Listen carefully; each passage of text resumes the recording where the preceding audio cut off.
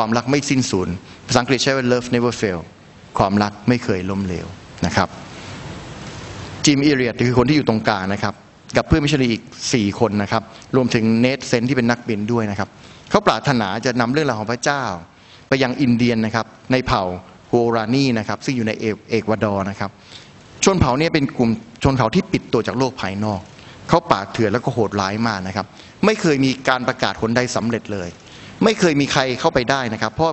กลุ่มนี้เนี่ยเป็นกลุ่มที่โหดร้ายที่สุด แล้วไม่ใครมีใครสามารถคอนแทคกับเขาได้โดยที่ไม่ถูกฆ่าทิ้งนะครับ กลุ่มนี้ก็คิดอยู่ว่าจะทำยังไงดีนะครับเขาก็เลยใช้วิธีเอาเครื่องบินบินไปนะครับ แล้วเอาโทรโขงพูดไปด้วยขณะเดียวกันก็เอาตะกร้าผูกของขวัญกับอาหารเนี่ยหย่อนลงไปเป็นระยะระยะนะครับเขาทำอย่างเงี้ยผ่านไปหลายเดือนมาก จนเชื่อว่าได้เริ่มได้รับความไว้วางใจจากคนเผ่านะครับ ก็เลยไปตั้งแคมป์อยู่ใกล้ๆกับที่เผ่าฮูรานีเนี่ยอยู่นะครับ แล้วก็ได้พบกับชนเผ่าในสองสามคน หนึ่งในชนเผ่านั้นชื่อเนียนกีวีนะครับ ซึ่งเป็นคนที่ชนชนชนเผ่า ซึ่งขี้สงสัยมาก แล้วก็มาดูเครื่องบินกับเขานะครับและมิตรภาที่ได้รับเนี่ยนะครับก็ทำให้นี่เป็นรูปของเนทเซนนะครับกับชนเผ่าเนี่ยครับทำให้มิชชันนารีก็ตัดสินใจจะเดินทางเข้าไปยังเผ่าฮูรานีนะครับ โดยไม่ตระหนักแม้แต่นิดเดียวเลยว่า ชนเผ่าคนนั้นเนี่ยที่ชื่อเนนกีวีเนี่ยได้พูดจาให้ร้ายกลุ่มผิวขาวไปเรียบร้อยแล้วนะครับ แต่ว่านะครับนักรบทั้งห้า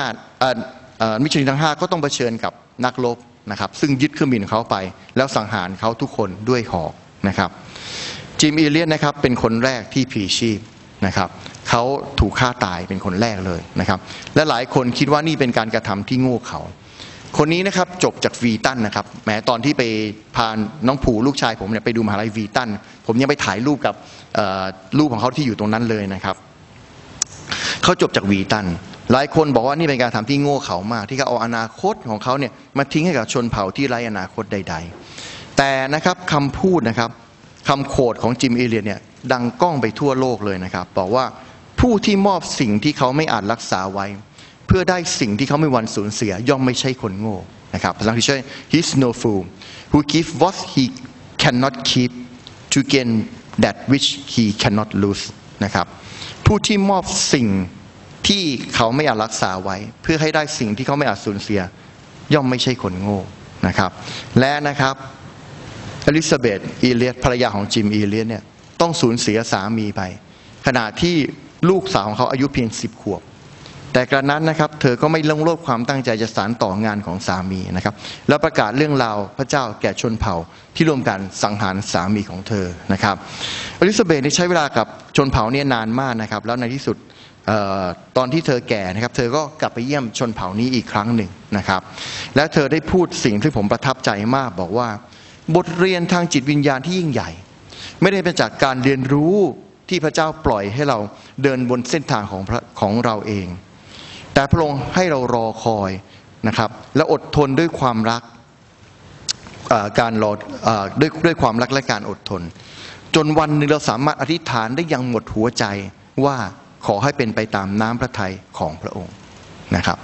วันหนึ่งเราสามารถอธิษฐานได้อยังหมดหัวใจว่าทุกอย่างนะครับ thy will be done ขอเป็นตามน้ำพระทัยของพระองค์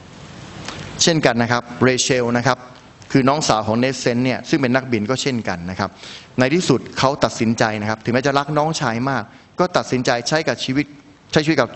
ชนเผ่าวูรานีเนี่ยจนกระทั่งสิ้นชีวิตลงที่นั่นนะครับ ส่วนสตีฟนะครับลูกชายของเนทเซนต์สูญเสียบิดาไปตอนอายุ 5 ขวบ นะครับเขาเองได้เดินทางไปเอกวาดอร์ครั้งแรก 4 ปีหลังจากนั้นตอนอายุ9ขวบ หลังจากนั้นก็ไปเยี่ยมเรเชลน้าสาวเขาทุกๆ summer เลยนะครับเขาได้พบกับผู้ชายคนหนึ่งชื่อมิงคายีนะครับมิงคายีเนี่ยเป็นผู้นำของเผ่า และมิงคายีก็รับสตีฟให้เป็นส่วนหนึ่งของเผ่าสตีฟรับบัพติศมานะครับเมื่ออายุ 14 ปีนะครับโดยให้ฮูรานีนะครับเป็นผู้ประกอบพิธีให้ณแม่น้ำที่บิดาของเขาเสียชีวิต และก่อนที่จะมาทราบภายหลังว่านะครับมินคเยนั่นเองนะครับ เป็นผู้ลงมือใช้หอกสังหารเนทเซนต์บิดาของเขาสตีฟนะครับให้สัมภาษณ์ทีหลังว่า ผมไม่เคยลืมความเจ็บปวดที่ต้องสูญเสียคุณพ่อ มันปวดร้าวมาก แต่ผมก็รักมินคเย เขาเป็นครอบครัวของผม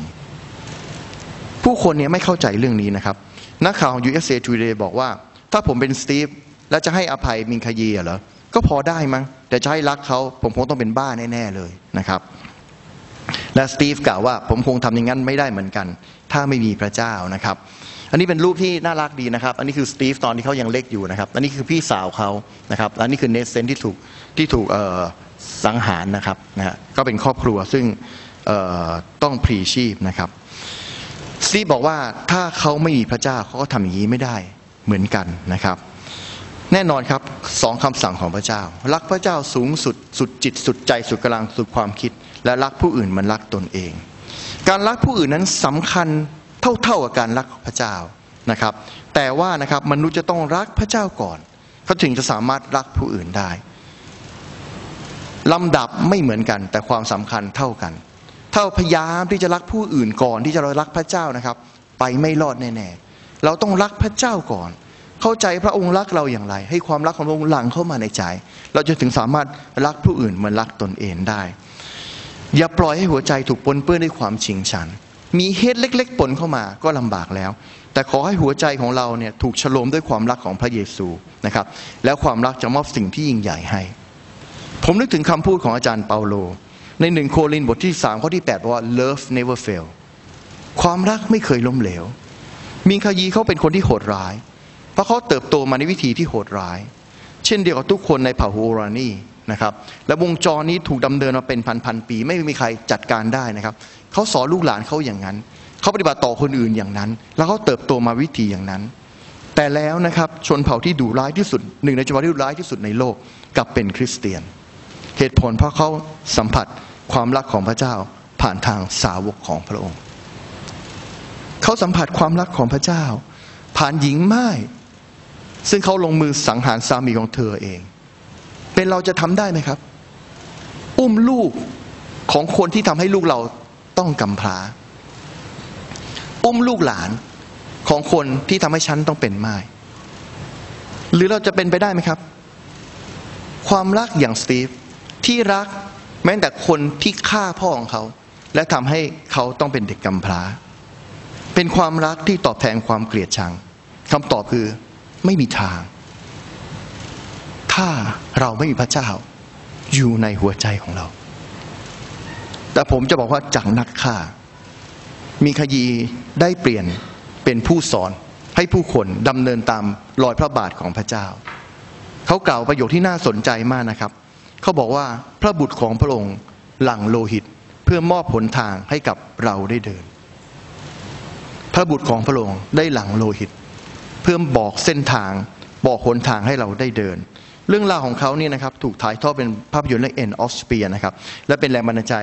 ให้แก่มิชชันนารีอีกมากมาย พระเจ้าปรารถนาให้เราสามัคคีกันในครอบครัวของพระองค์ แน่นอนครับทุกครอบครัวย่อมมีการกระทบกระทั่งกัน ไม่เว้นแม้แต่ครอบครัวของพระเจ้า แต่ผมจะบอกว่าเรา